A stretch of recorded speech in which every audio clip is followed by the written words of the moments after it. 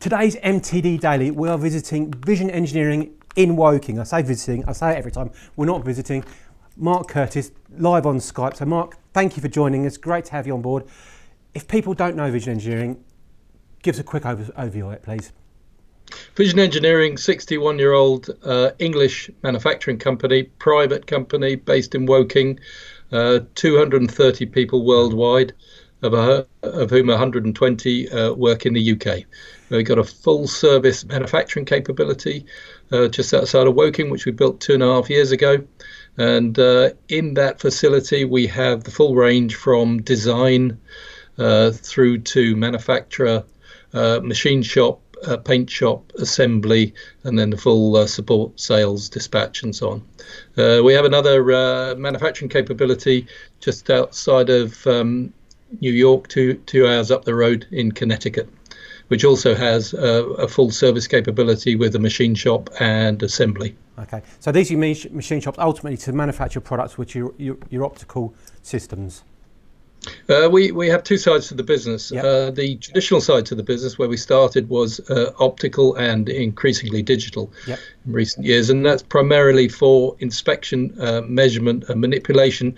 And these are supplied primarily to other manufacturers around the world. Right. Uh, the, most of those manufacturers involved in uh, telecoms, uh, in precision engineering, aerospace, automotive, but uh, increasingly in the last 15 years, it's been medical devices. Okay, and I, I must reiterate this: you, you drive into into Woking where you're based and this just fantastic state-of-the-art operation comes sort of appears out of the forest almost. It's just an absolutely amazing facility, and that ties in a with the products, that the fine end products you're manufacturing, but your machine shop. We recently had the joy of going out there. We met with um, Steve and Scott who, who showcased what what you've got there. But in terms of your machine shop, not all the machines, but can you just talk me through some of the you know your, your favourite ones almost, we call them. Well, I mean, uh, as, as I say, it, it's a full service shop. So yeah. uh, uh, at the one end, you've got uh, XYZs, we've got the, um, the manual machinist tool makers. Yeah. As you know, uh, tool makers are about as good as they get. And those are primarily used for either our own tool making or also very often short, very short run parts or um, uh, uh, maintenance we've got of existing uh, equipment. As I said, the, the, generally, those, the... those, oh, those, guys generally, if they want a one off or a two off, it's quicker for them to make it on their manual machines because a they're so skilled and they can do it rather than doing all the CNC programming. Of course, of yeah. course, and uh, they are. Um, there's a notion that they're always older. That, that, that is true up to a point because they're experienced, but we've been running an apprenticeship scheme there too because, of course, you need to have the fresh blood in there. Key that works quite well. Getting new engineers. Over to, over to um, uh, uh, milling and, and turning. Yep. So uh, you you saw our latest Mazak. Um, fantastic piece of kit, can run lights out. Uh, so that's a, the Hyperquadrex, is that right? Because I've not seen those before. Hyperquadrex, yeah, and it, it, it does enable us to deal with a very wide range of materials mm. and most importantly to be able to load up run lights out run multiple parts so it, has it, been a real addition mm. uh, to what we do in, in, addition to that we've got um, well just, ta- just back on that Mazak because we interviewed Zoltan who was absolutely raving about the machine yeah. but it, as you say it will run 24-7 because at one end you've got the Hydrafeed bar feed but the other other end the guys from Hydrafeed have built you a bespoke parts catcher well, we our specific requirements. We are running relatively low volume with with high turnover of parts. Yep. So we we looked at what was available, and in the end, we decided we needed a modification for what was available. So actually, it's a customized yep. uh, binning system. Fantastic. Works treat. Yeah, binning as in parts catching, not bending it as in yeah, parts it. Catching. yeah, yeah, yeah, yeah. Okay, so and you've got also, you know, you, have got your Bridgeports, your robo drop, um, yeah. robo drills, but also robo drills. Yeah. Um, we also uh, had a chat with, remember his name, it's Dan, because he works, he's on the milling team, and he was working yep. the Kitamura, which was supplied by Dugard, of course. He was absolutely raving about this machine. So if you could tell us a little bit about that. Well, the Kitamura, the, the big advantage of the Kitamura is its uh, palletization system. Yep. What it enables us to do is to reduce downtime substantially. This is what we've been working on. So, in addition to being able, able to offline program it, we can also then um, palletize the parts, load the parts. We've got quick release fixturing, which enables us to really, really push it hard.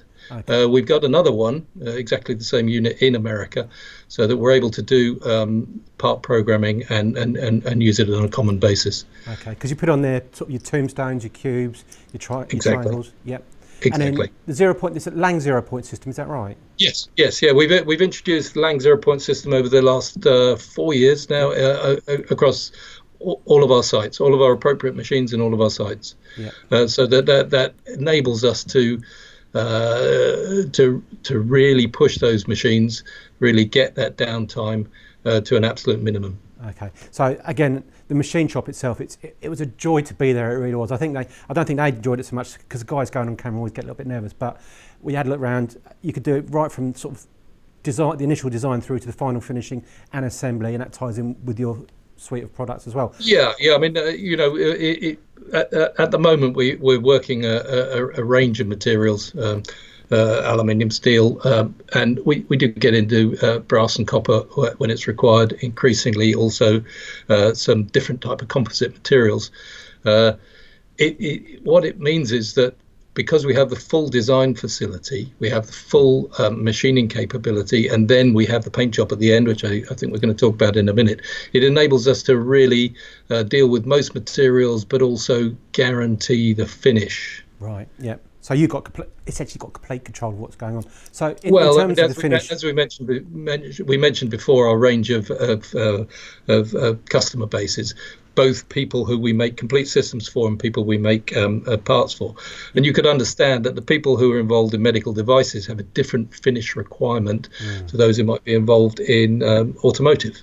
Right. Okay. But you've got again, you've got complete control of that. Now you say yes. about medical that ties in with the current environment we're in people can register to start supplying parts for the respirator, things like that. And we've heard mention of B, BSEI, Make UK, then there's a government portal. I know you're involved in this. How, how has yes. the current environment affect, I mean, it's going to affect you because you're, you're essentially a global company. How has it affected you?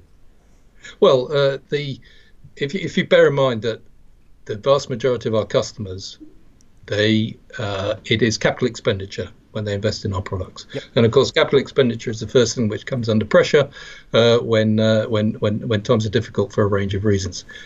Set against that, uh, clearly, no, not, not, many people are buying cars at the moment, so that side of it is, is, is problematic. Aerospace we know about, yep. but set against that, there is a significant demand in the medical devices, the medical instrumentation, but also for obvious reasons, telecoms, infrastructure. For example, we uh, we we work quite closely with a, a drone manufacturer, um, often supplying to police forces, oh, okay. and th- those have been in the news recently. Yep. So there are. Uh, there are there is much more pressure from a wider range of industries people talk about ventilators. We're involved in that. We're on. We're in, in, in the consortia. We're moving ahead. We are uh, uh, looking to make parts for people. We're looking to help uh, on that. But of course, it is much broader than that. There is a wider range of medical instrumentation required.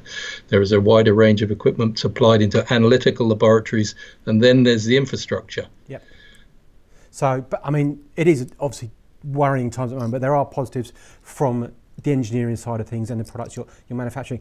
Mark, I'm going to sort of wrap it up there. Thank you very much. And I'm, it was great seeing your machine. Your machine, well, the whole facility is absolutely amazing. And that we have done some videos on MTD Network. Definitely worth a view. Mark, thank you very much for joining us. And we look forward to seeing you again very soon and your products and, and obviously the machine shop. Thank you very much.